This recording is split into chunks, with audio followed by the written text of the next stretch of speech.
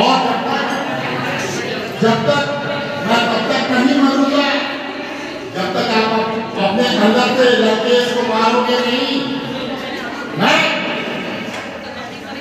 अगर इसमें राम नहीं है तो वो जरा कोई मैं चाहता हूँ कि राम हम सब मौजूद है लेकिन कोई राम है, वो हाथ उठा दे एक सिंगल हाथ नहीं उठा एक सिंगल हाथ नहीं उठा अगर राम होता क्षमा क्षमा कीजिएगा अगर राम होते तो आज छोटी छोटी बच्चियों का अपहरण हो जाता।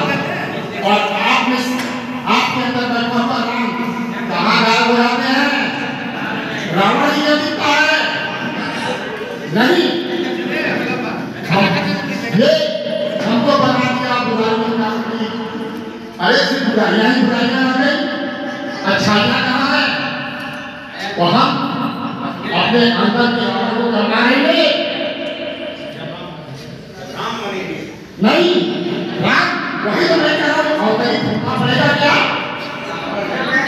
हम अपने अंदर के रावण को कल मारेंगे जिसका कोई एक जवाब है है है ज़रूर।